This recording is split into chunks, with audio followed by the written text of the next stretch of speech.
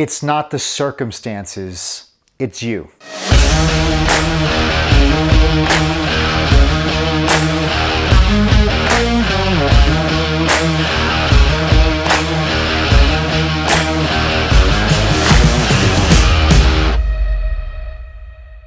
Hi, I'm Dr. Zaino with 5 Minute Fuel, which is in 5 minutes a day. We're going to fuel your mind, your body, and your future. Several years ago, I came to the realization that in the same circumstances, the same economy, the same country, some people are doing amazing, killing it. Some people are not. So we couldn't blame the circumstances. But so many people, the, the attitude and the, and the song was, well, when this gets better, or you don't understand where I came from, you don't understand the way I was born, you don't understand in the state where I live, you don't understand the job that I have. And the circumstances were blamed the reason why that person was in that situation. I was going through a tough situation at the time of my life, and I realized that I have to become the change. Because see, when I change, then the circumstances around me changed. So I realized the importance of personal development. I realized the importance of reading books 15 minutes a day. Just read something. I realized the importance of listening to audios. I realized the importance of developing who I was as a human being, developing the skills. And I went on that journey, doing something a little bit every single day, every single day. And sure enough, before you know it, after a couple year, two years, all of a sudden I was like, wow, you know, people are really a lot nicer to me. Hey, my business is going a lot better. My income's great. My relationship, wow, my wife is actually being nice to me. Uh, my patients are really listening to what I have to say.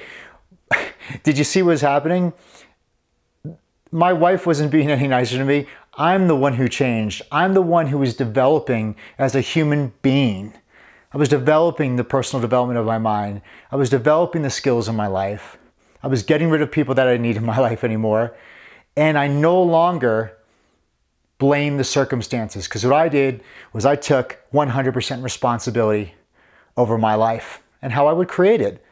And there was a great saying by Nathaniel Branden, and the saying went like this. He used to tell his patients that he, that he counseled, no one's coming to save you. I'll say it again, no one's coming to save you. And what that does is that instills 100% responsibility that in order for my circumstances to change, I have to become the change. So in your day-to-day, what are the areas that you're not happy about right now? What, what areas? Relationships, money, business, personal development, whatever that is. What are the areas that you're struggling with?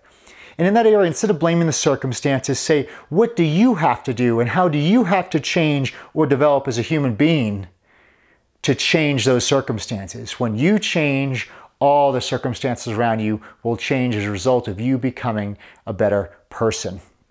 Hopefully that blessed you today.